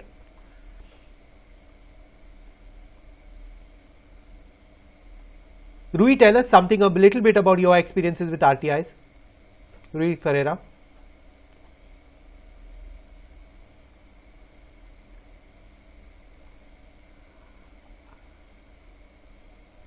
No. Okay, if, if, if there are no questions, then uh, maybe we could look at this RTI portal, how it could, uh, you know, how it could help us, how practical it is to do, how difficult it is. Any comments? See, uh, if you Google search RTI uh, Goa, there is already an RTI portal for the internal uh, use, for the government internal use. There some login thing and all you get. Uh, I think they, it's a common platform all over the country, which they're not giving access to for uh, Goa in terms of uh, for the applicant. So it just needs a demand actually from the with the government, the governor or the government to get it implemented. And maybe we can link it to human rights also because a lot of people who have uh, uh, who have uh, disabilities cannot access, cannot physically go there So maybe it can be to that as well. No, no, that is correct. Avinash, what you're saying there is correct. I've also seen if you Google for Goa and RTI, you get that, you get those two places, uh, two uh, links. And one is a portal, but what portal is that? Is it a portal giving data of information asked, information received, or, or questions processed, or what exactly is going on there? Because I don't know, you know, we'll have to. it's an internal communication. So Yeah. Instead of sending uh, physical letters to different departments. so they can internally, uh, like how the central portal uh, does that. So they, it's just automatic. It's just uh, for convenience that the concerned officer can be uh, forwarded the RTI. Okay. But I don't think they would be tracking, see, because the government is not bothered about tracking, you know, say the overall picture. That's our concern, no? Who is raising the questions? How effective are they? Where are they getting blocked? What is the potential to, to get information which is useful for the citizen? That's our, our issue. The government is normally not keeping track of this unless we go through, to, through an MLA and ask a assembly question. But that will be one off. That will not be on an ongoing basis. Okay, you're you're talking about uh, the RTI for uh, the RTI activists, right? Not not the one which you apply for an RTI. Right, right, right, Sorry right. I'm wrong. Uh, Right. You're talking about a portal. Okay, okay, sorry. I, I thought it was for someone who can apply for an RTI. Yeah. So Ma- Malan was talking about uh, building a database of all the RTI uh, cases coming up, you know, just so that we know what is going on, we get a wider lay of the land and we can understand the situation. Otherwise, we are seeing bits and pieces of it, mainly through episodic reporting, which is not complete. Om, Om has raised his hand. Om, please, yeah, please. Hi, am I audible? Yeah, yeah, yeah. You are, you are, you are. Yeah. Uh, so as far as this online repository is concerned, I was discussing this with Manan the other day as well. We can broadly the few components which we can have is one would be what has already been discussed, like a common database of like asked and um, like you know to which department, so on and so forth. That would be one element. And then the element could be like uh, cases for you know the common issues which people face, like 30 days grounds for rejection, so on and so forth. Another element could be some sort of FAQ. Like I, a lot of important uh, issues were discussed today, like pertaining to OCI, pertaining to SAM limits. A lot of these common questions people can have. There can also be a section in the portal for that. So broadly, these are the few elements which you can have. And then separately, apart from that, you can come up with some sort of mechanism to collate this information, like uh, maybe something to like a Google form or something.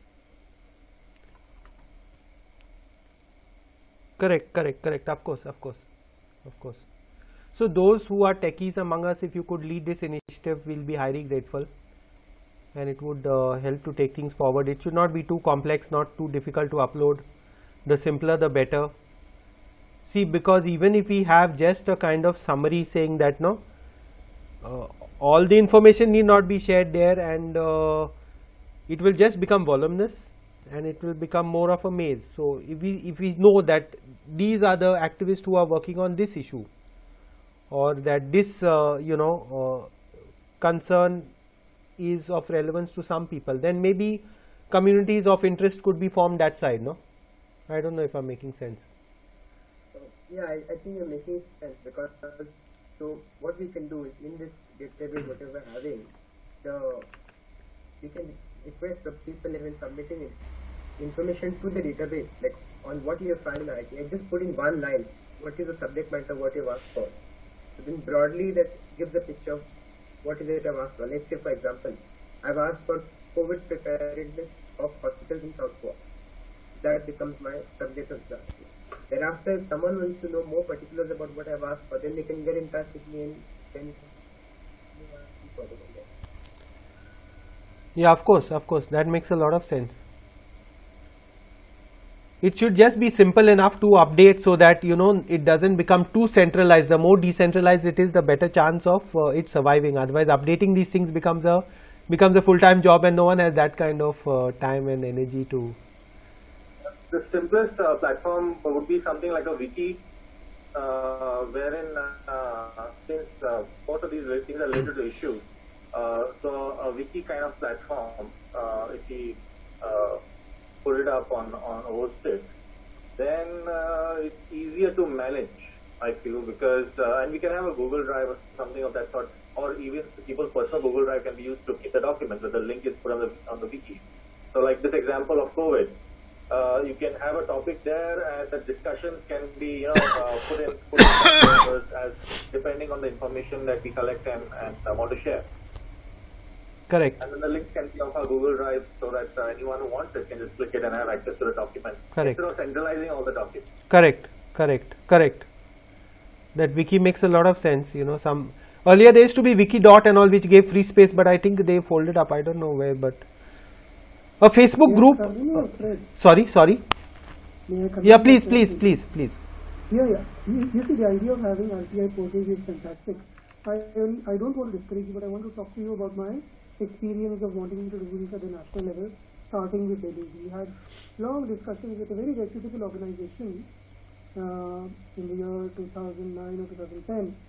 And then again, after two or three years, once again with them, NASSCOM showed a lot of interest in helping us. But you see, these things become very resource heavy.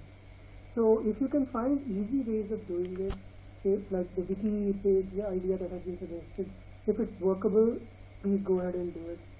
Or if you can uh, think of using Facebook as a way of putting up these documents, you know, everything need not be put on just one page. You can open multiple Facebook pages, something on health, something on education, something on environment, something on COVID, and then, you know, you give responsibilities to each of your active members to update your pages, having them people share information. That is also doable. But what I want to draw your attention to is something that the government should be doing. In 2010 and 11, we had a long process in the central government for developing guidelines for implementing Section 4. I wrote certain chapters of uh, you know those guidelines uh, specifically, and you know they were included without even saying the word. They were issued in two tranches. The first one was in April 2013, and the second one was in uh, November 2013. Nothing much happened afterwards. In 2016, again the same department under a different leadership constituted a committee to advise on how best to implement those guidelines. Those guidelines are also available in the public domain, but nothing much has happened. But a short point is this. In the guidelines that we put together in 2013, it has been sent to every single state, to the chief secretary for implementation. Hardly anybody is taken it seriously. What is suggested is that all RTI applications and replies, including information provided, must be uploaded on the website of the public authority that responds to that RTI application eventually. Personal information can always be kept out, it can be redacted, it can be blanked out, but all the other information should be available. Its main purpose is that it should be available for people, anybody and everybody. The principle is disclosure to one, disclosure to all. Therefore, people then don't have to ask for the same information again and again. Now, there is one good example. I'm not sure if you've already seen it, but perhaps those of you who are journalists and others might have seen it. BBC in the UK is covered by their Freedom of Information Act. And if you go to your website and check your menu, you will see a link which leads you to what is called BBC FOI logs. BBC Freedom of Information logs. And there when you click on it, you get a treasure trove of RTI applications that went to them and the responses that were sent to the re- requesters. The only thing that they removed, because they have a very strong personal data protection law and they are subject to the European Union's GDPR, Global Data Protection Regulations. So they removed the personal information like the name of the requester, uh, address of the requester, uh, name of the PIO who responded. Those things are removed, but everything else is published.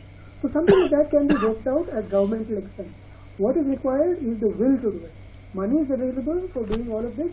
Even if taxpayers' money can't be used, there are n number of international donor agencies who are willing to support pilot projects. Start with one department, make the information available in this manner, and then scale it up. Only thing that is required is for people to work closely with government in a sustainable manner, in a perseverant manner, and get them to implement their obligations of putting all the RTI applications in the public domain along with the responses. This would be an ideal situation. Otherwise, what happens is. There is a lot of enthusiasm in civil society to start with, but maintaining it over a period of time, ensuring that it continues, ensuring that resources are available, updating is done regularly, is the Herculean task. We are just not equipped for it, even if we are an organization.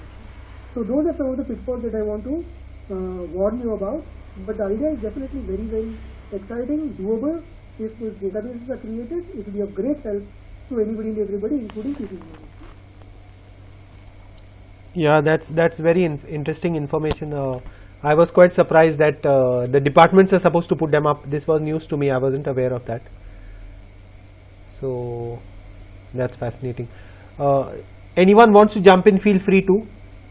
It's, it's an open house, it's brainstorming, so there is no set agenda.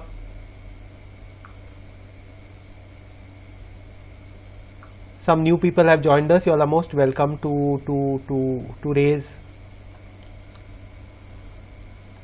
today's issues questions queries uh, just a question regarding uh, uh, we can talk a lot of things what I could say is that the people who are executing or giving the information has to be trained up on the right information act. And that should come from the government or whatever agency was pushed it to train up the people. the existing people or PI or whatever you call them, if they're not trained up, you will not get the right information. That is for sure. And most of the in the Western countries, uh, before people who are engaged in giving any uh, jobs or that, first thing what they do is they train up the people. They really give them all required information, and then only they uh, the the person who does the job, uh, he gives all the required information. And why it is? Because he's well trained up. So what I would suggest is that the people who are giving, like uh, if you go to the secretaries, you are not even respected, you are not even worth a pie. They don't care, they think that they are, they are the bosses. But this kind of attitude has to be changed. And this has to come from the government itself. The government has to train up these people once they join the public service. And this is what is lacking in, in, uh, in Goa or all over India. That's what I could say. No, no, that's right, Bruno. But the point is this: see, like uh, we, the situation here is quite different, say from Sweden, where you had. Uh, I'm just saying Sweden because they've had right to information acts or whatever from the 1700s, and uh, uh, you know you have an active civil society there. You have a high level of literacy. You have a big, strong middle class who knows, who knows. It has an enlightened self-interest and who knows where its future lies in that sense, and it knows the price of of uh, being lackadaisical with with the fruits of uh, you know growth and and uh, and trickling away, trickle away of corruption and all these issues. Whereas here we are just starting with uh, with, with a few years of uh, precedence to it. Not only that there is a strong resistance to share information. I find it can be either from the officials to a certain extent and from the political class also to another extent. Sometimes it's just that they are overworked. Sometimes that they feel like who are you? This attitude thing that you said. No we are like we are the rulers. Like who are you all guys to ask? So that attitude is slowly changing. It's going to take a lot of time. It's not you know at the most we can hope to speed it up a little bit. But uh, you know what you are addressing is true no doubt about it. But uh, how do we bell the cat? That's an issue. So so it's it's it's going to be a strong process. My only hope is that if more people do it and if if it becomes more of a done thing and if we get more ideas see because these ideas are always welcome. Ven- venkat and company have gotten even linus and all that have gotten a lot of ideas from elsewhere and we have a lot to learn from from from the you know experiences of other states of other regions where where where you know things are, ha- are happening and they are doing more effectively but but thanks I thanks a comment on this issue of. After you've spoken, I, I carry on carry on carry on Yeah, you see, I have had some experience of working on proactive disclosure at the panchayat level in Gujarat. Uh, we were there uh, 2002 onwards after the criminal violence happened, and when the RTI Act became operational in 2005, we did a lot of training. We actually worked with Gram Panchayats there uh, to put up information about uh, what the panchayats do, their budgets, their meetings, their committees, the schemes that are implemented to the panchayats in the form of wall paintings. Uh, we also have a film uh, about this, how we went about doing it. One is in Hindi, one is in English. We also have the template for proactively disclosing information in offline and online modes in Panchayat. And that is, some parts of that have been included in the November 2013 guidelines that DOPT issued because they are very focused on Panchayat level uh, administration for a variety of things and on four issues, Narega, food security, education and health. They focused on not just the uh, village level administration, they also go up to the taluka or tehsil, uh, then the district and state level, disclosure. Now while doing that what we found, because we read through the Gujarat Panchayat Raj Act as well, ordinarily Panchayat meetings have to happen at least four times a year in Gujarat and I believe it is quite similar in many other states. I haven't read the Goan Panchayat Raj Act so I can't uh, you know confirm whether that is the case. And those four dates in a year are invariably on specific days like Gandhi Jayanti, Republic Day, Independence Day, or some such thing. Okay? So we were able to actually put up that information on the walls and say, according to the law, these are the dates, on which regular meetings have to be held.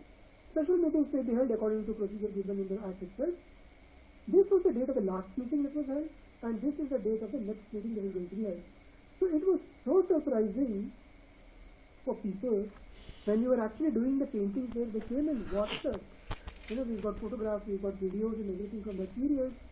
And they were saying, Arey yaar, what is this? Is this our country?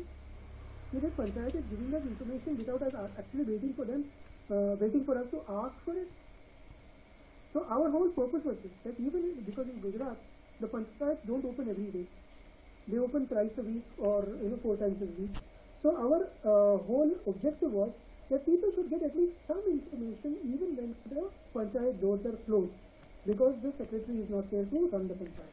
So even budget information, how much funding came in, how much money was spent, and how much money remains as balance for a three-year period was put up on not in painted form, but that was in a blackboard and it was written up in chalk. We did something very similar with the police stations of Ahmedabad.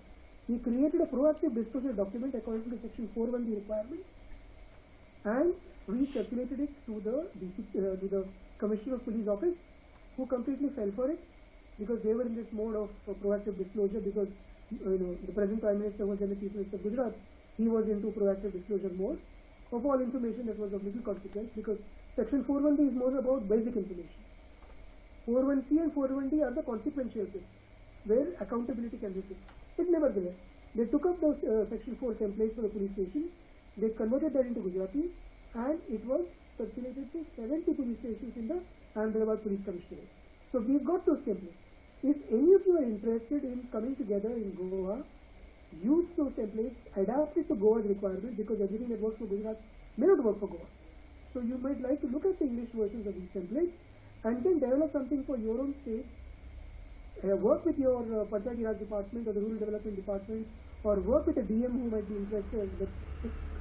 No, you have only two districts, I remember. Any of those people, or you know, you talk to your local MLAs and say that your intervention can be in your constituency. Use these templates for the panchayats and for the police stations, and accordingly you develop it for uh, NREGA and other things because the guidelines are already there. So it really will help in a big way to push for transparency rather than simply talk about how nothing is working or how there are problems and then we are fed up with it. So that is exactly what we did. We talked about these issues, but then we tried to find solutions. The Panchayati Raj templates were actually put together by sitting with the Gram Sabhas. We did not even talk to them about RTI. We asked them, what is the information that you really want from your Panchayat? Without actually having to ask for it. They, believe me, they came up with a list that actually matched clause by clause with section 41B. And then we showed them what is there in section 41B. We read out the Gujarati version and they were shocked. They said, is this uh, law applicable in our country? We had never heard of this. And that is how interest levels in the panchayat increased. The Sarpanch thankfully was a proactive fellow. So what we did was this. We spent from a project fund 3000 bucks on just buying paint and hiring the painter who painted up the information in the form of templates that we had created. After that, the State Information Commission, Chief Information Commissioner was so proactive, he came to inaugurate this pilot project after it was all done up. And then in every hearing, he would tell the DMs and the ADMs who came to the hearing, that go to this village, take a look at it and see how proactive disclosure is done. So 25 other uh, Gram Panchayats in that district took up this task on their own. We didn't have to spend a single penny. They literally did it at their own cost. Then what happened? The neighboring district, the additional district magistrate, he went to the commission for a hearing. So the commissioner told him, go to this village and take a look at it. It was literally like pilgrimage, you know. You go to this Sabarmati ashram. Uh, uh, instead of that, you would go to this village called, uh, um, it's called Kalol, you know, Gram Panchayat. So they went there in Panchmahal district. He saw that he was too enthused. He was a very young guy. He went back and he issued directions to 250 panchayats saying this template is available. Spend your money and get it done. And I have travelled in at least about you know four or five talukas in Gujarat, and I saw about 50 panchayats where they had all spent their money and they had put up information, not just copying what was done in the pilot project panchayat, but adapting the information by filling up the local stuff. That was unique to those panchayats. It's doable. So what you need to do is get a plan of action together to advocate with your government, with your department, to use these templates, adapt them. You you do the adaptation yourself and give it to them. You know, they like spoon feeding. So find your way of interesting the getting the government interested and start the business of proactive disclosure in your gram panchayat. It's one of the easiest things to do. Working with other departments is quite difficult. But we were very surprised when the police stations also agreed to take this up. So see if you can make use of it. I'm happy to share it with you uh, recently. I'll you. That's that's uh, that's fascinating, in the sense that uh, you know we don't uh, sometimes appreciate the power that a little information can have in changing the discourse, changing the dynamics, changing uh, you know the the transparency levels and even the full approach towards uh, you know how a panchayat is run for that matter. Uh, we need some success stories just to shore, shore up the enthusiasm while being aware of the pitfalls at all times and we should not think take anything for granted you know but uh, i think that's a good way to go by. We have 15 minutes left. If anyone wants to step in at this stage please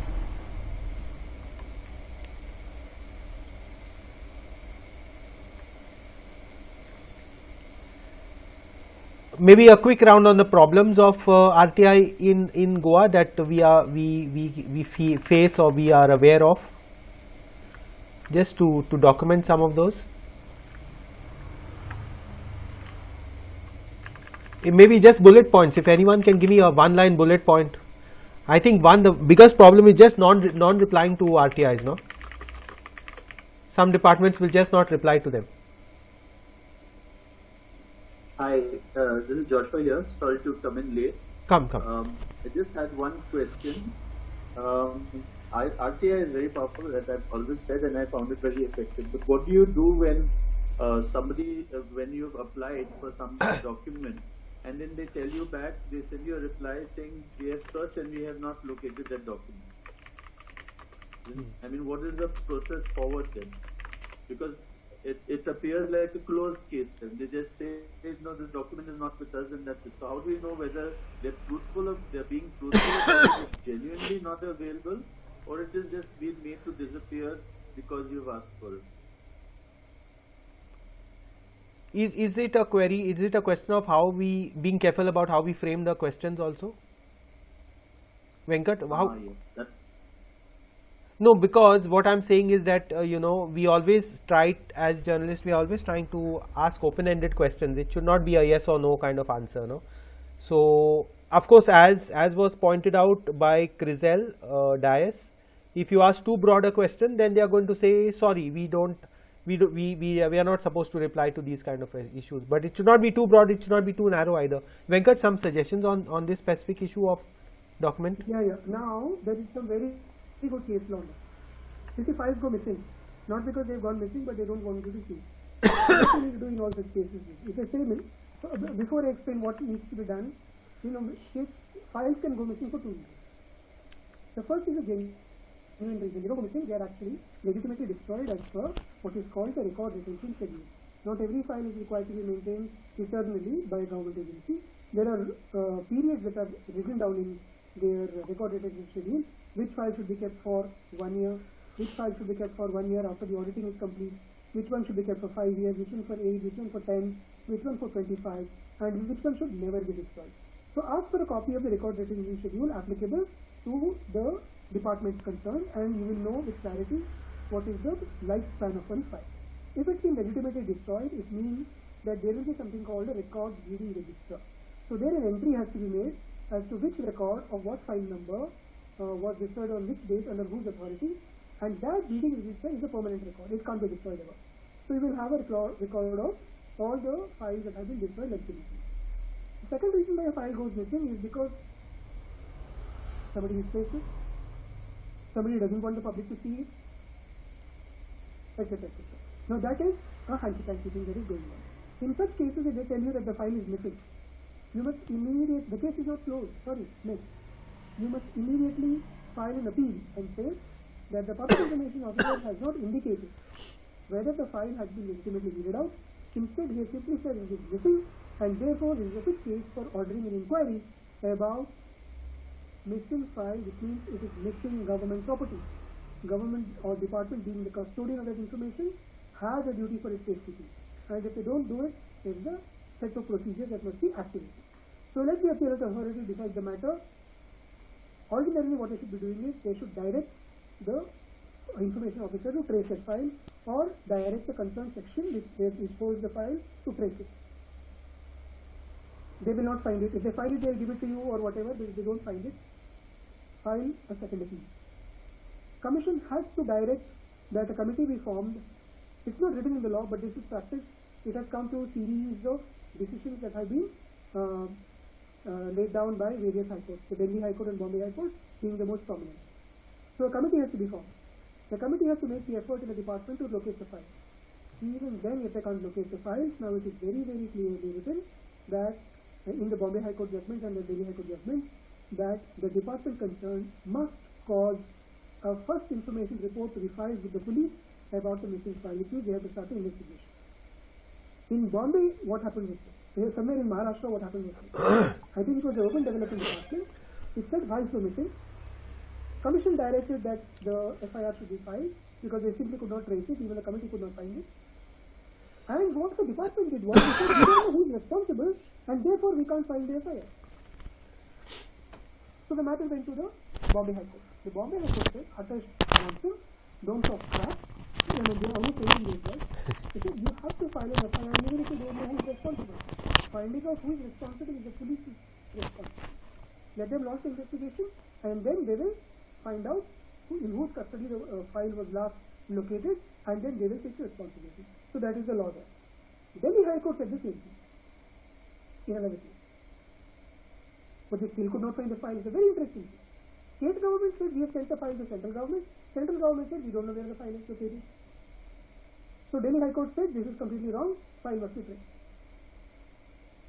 And then what happened? They still could not find the file. So this RTI applicant went back to the court and said, under its jurisdiction, please issue directions to the department concerned, this is the tourism department, to locate the file and file an FIR. So Delhi High Court said that look, this is a case of a missing file. There are procedures given in the CRPC which you can use to activate the criminal investigation process. We will not use the extraordinary jurisdiction of the court because you already have an option in law. So you as the RTI applicant who has been told that the file has gone missing has the right to cause an FIR to be filed under section 164.1. If the local police station does not file it, you file a complaint with the district uh, head of the district police under section 154.3. So thanks to that judgment today, if the department which says the file has gone missing does not file an FIR with the police, the RTI applicant now has the right by citing the, uh, the Delhi High Court judgment to get an FIR filed about the missing. Then let us see what happens. Thank you. That's excellent. Thank you. There is so much that we don't know, and we are just waiting to know. So.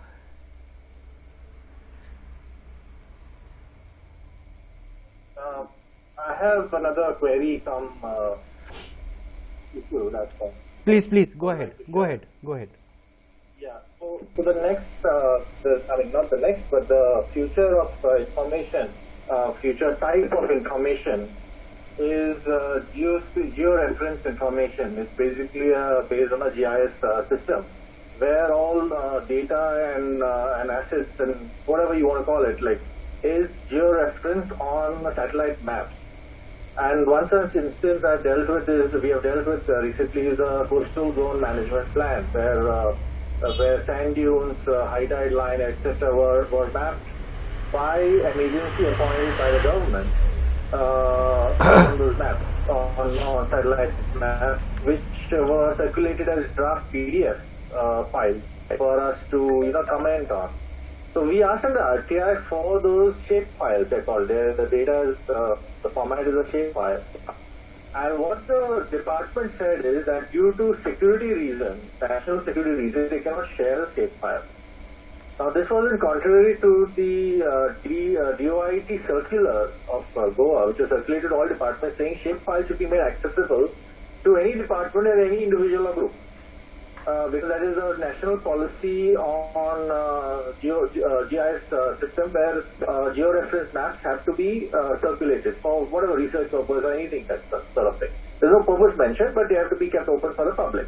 So yeah, so now considering uh, a lot of data is going to be in form of georeference, whether it is like uh, say sewage lines, electricity lines, uh, I mean all sort of survey, land survey, all these things are going to be georeference, which is going to make it easier for activists, environment activists, and any other to to uh, interpret maps. Uh, you don't need a surveyor to come on the ground and do surveys to see the boundaries of a plot, for example. But uh, certain departments are still hesitant to give this information under RTI. Uh, so that's uh, that's something that we as a collective have to uh, go ahead because I mean as a uh, that this is accessible. Second issue is recently I have noticed a trend in in the town planning, uh, the PDAs, and even in the uh, CZMA, Coastal Zone Management of GZMA, is that uh, whenever you ask for a construction or so as a survey number, because as citizens we don't have reference to anything else, maybe the name of a structure or name of a hotel or uh, this. They say that you know we don't, we cannot uh, find a file for this. Kindly give us a reference number of the file. So now they are using uh, ignorance to deny information. So if an illegal construction is coming up uh, on a particular plot, what we used to do is ask for a survey, all the construction a survey number, and we used to get those files. But now they are saying no, we don't. Uh, you know, the using survey numbers, the files cannot be traced. Therefore, uh, only give us the construction reference number or you know technical reference number, so that the file can be given to you. So now, how do we tackle that issue? Is there any judgment or something that that uh, in this regard? Whereas as citizens, we don't need, we should not be. Uh, I mean, where do we get a list of, uh, of uh, say, a construction license number or a tech, or Yeah, very, very, very interesting and pertinent issues. Okay, if I may respond to both of them. Please. What I would suggest, Avinash, is this. First, attach a copy of the department's letter which says that the GIS, you know, the, the basic data must be shared with even individuals and make a general application without, without reference to the Act. Say you are willing to pay the fees, whatever is chargeable, and you would like copies of the information that you want. Wait for a month, send a reminder, then wait for another 15 days, and after that file an RTI saying that we have submitted a request for this information by attaching a copy of the department uh, letter. We have not been able to obtain it under the ordinary course of things. Therefore, we are constrained to seek this information under the RTI. And then when they say national security, escalate the matter to the commission and argue It, that it has already gone to the commissioner. It already went to the state information commissioner. It was rejected at that level also. Rahul Then you have to go to court. Goa Foundation, has then you have to go to court. You have to go to court. that's the next have to go step. to court. Then you have to go to court. That- That's the first thing. Now the second thing is this. Now, according to section 4.1b, I think it is clause uh, 13 or 14, all licenses, authorizations, permits and concessions that have been issued by any public authority, the details of that, the procedure for doing it and the beneficiaries of those, of those licenses, permits and authorizations must be proactively disclosed. So technically speaking, this is information that has to be in the public domain already. They don't put it out.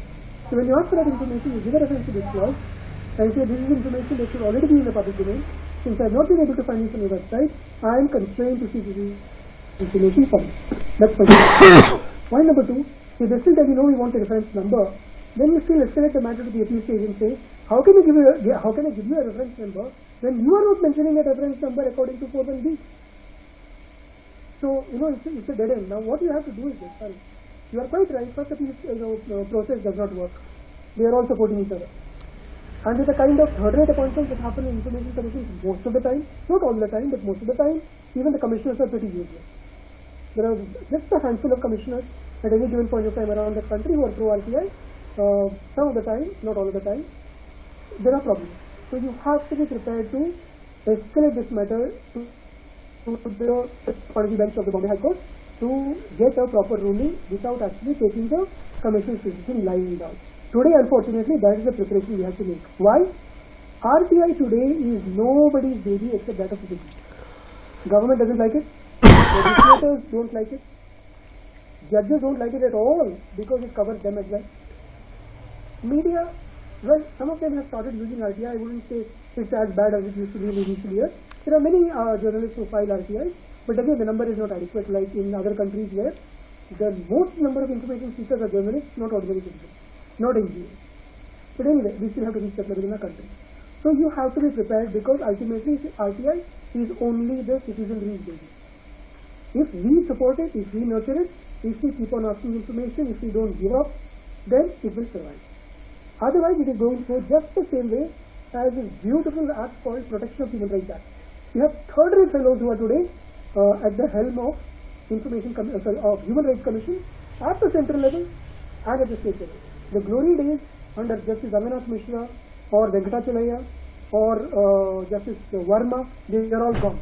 Today you have somebody like Arun Mishra. It. The only way that you can fight this out is by taking to court. Keep fighting for it. Unfortunately, it's a matter of resources, but I'm sure that might have some pro bono lawyers, some young lawyers. It's best to link up with them and take these matters to court. You really need to have something like a war strategy. It's not easy anymore to get information, even in the 16th year, because the philosophy of RTI has not seeped into governance. They are still stuck in the philosophy of OTP and they will deny information to you. So you have to be prepared. This is my own life experience of the last 16 years. It's becoming more and more difficult even to get it. Even Food Security Act beneficiaries. One nation, one nation, one ration card. Who are these fellows? Central government doesn't have the information. They say go to the states. I mean, you are the ones who are releasing the grain. States are only identifying the beneficiaries. So under 412, you have a duty to tell me whom have you, uh, you know, selected as beneficiaries finally for issuing those ration cards and for giving, you know, free grain because that money is coming out of your central city. These are all you know, battles which are now in court. So we have to prepare for this. There is no other way unfortunately. I'm sorry, but that is what India is today. We only have juglebazi here. Interesting, interesting. Uh, Sorry. uh, But the idea is good. Carry on, carry on, carry on.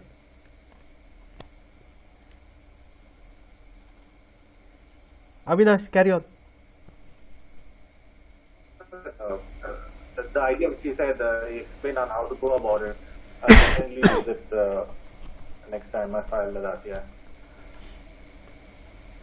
Thank you. Thank, uh, that's that's a very interesting and strong point that uh, that Venkat has made. Uh, of course, he's put in years into it, so he feels uh, he feels the pinch more than all of us.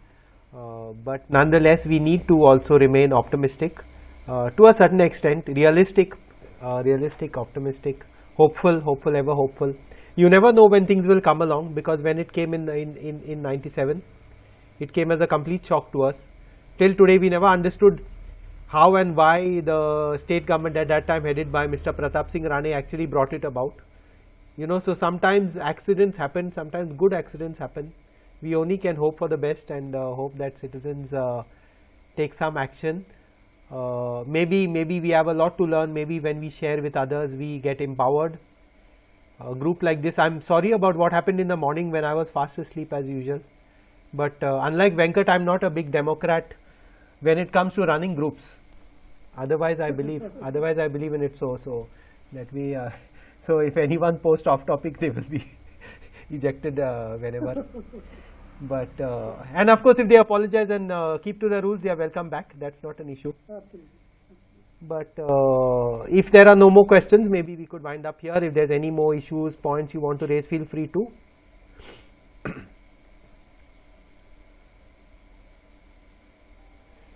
but you know, I think Venkat. Yeah, I think, Please, please.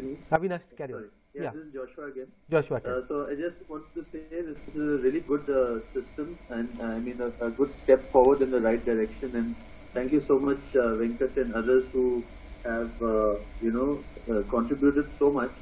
Uh, I think one learning from this which I, I use everywhere ever since I started using RTI um, is I just keep telling everybody I meet you know anything they need to find out just tell them go use an RTI and uh, you know slowly that is the way I think that we can just spread the word. And the more people that are using RTI the more refined we will uh, the system will get I feel thank you even this ability just to share the information online in a way which is so asynchronous and doesn't disturb us when we are doing other things and all that uh, opens up new possibilities. Let's see where we can take it. But as Venkat says, the RTI is the baby of the citizenry. No one is really bothered about it. Uh, it may get temporary allies for some points of time for their own purpose. In Goa, I think the government servants are major users of the RTI themselves when they have some scores to settle, which is okay, which is fine. It's not nothing illegit about that. The media, uh, some people have started using it in quite a significant way, and it's interesting to see their interest. And they are digging up stuff. They have to get it out of their mind that you know it doesn't fit in with our 24-hour deadline and all, which is not an issue at all. It's just uh, it's just a straw man because you know you collect information on other points. You are not collecting information for tomorrow's story. Or collecting background information which is very useful. And then if we can link up rti with uh, with opposition mla questions that is another ball game altogether. In goa we had a very good run a long time back with some mlas who were willing to ask questions. And uh, what we couldn't get in through rti they were asking it for us. And it became much more difficult for the assembly to block to block uh, these uh, questions and these this information from going out and it sets it on the agenda at a much broader level because it's public knowledge the next day unlike an RTI.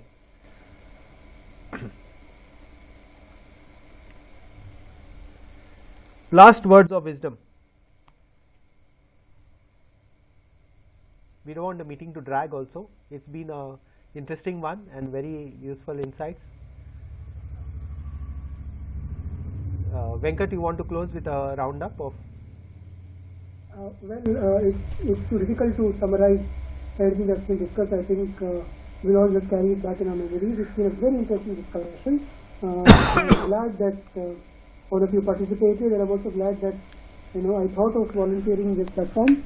Please think of this platform as your own.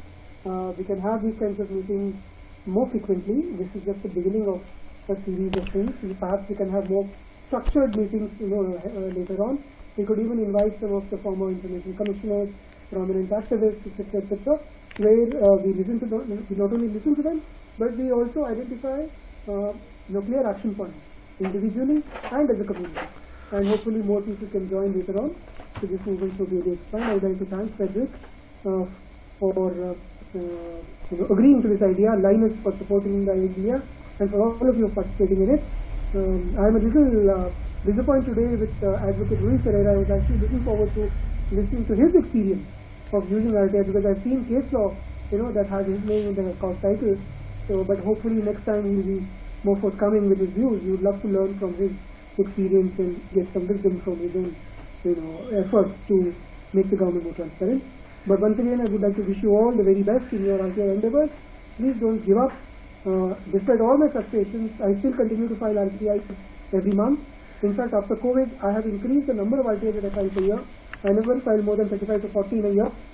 But now the number is more than double. This year I might reach 100 because we still have uh, to go. The more we file RTI, ultimately my message is this. RTI is like our muscle. The more you use it, the healthier it will be. The less you use it, it will atrophy. So therefore, please remember this, use RTI, encourage others to use RTI, and let's make our government, our administration much more transparent than they actually want to be. I would like to stop here and over to you, Fred. Thanks, thanks a ton, thanks a ton, Venkat. We are grateful to you because you are adding value, Venkat, eh, because you are adding value to to our uh, our presence, and of course, thanks a ton. Thanks for all the presence and information and all that. Uh, Avinash has put up his hand. Avinash, you raised your hand. Sorry, no, I thought it was a clap thing. I just Okay. wanted to, uh, But anyway, that one. Venkat, it was Sorry. an excellent uh, session. I have learned uh, tremendously. Thank you. We'll come back. to some of the references. We Yeah, we, we he'll back. we will take your offer and we'll come back. We'll have this. Okay. Thank you. Thanks a ton. Bye. Bye. Bye, Bye. Bye. Bye, bye, bye. You just Venkat, you just need to stop the recording and uh, save it now. I will. I will. Bye. Bye. Yes. Thank you so much. everyone. Thanks, Thank Satan. you. Good night. Good night.